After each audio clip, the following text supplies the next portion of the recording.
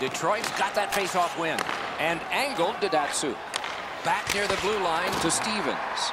Good poke check by Al. Into the end of attack.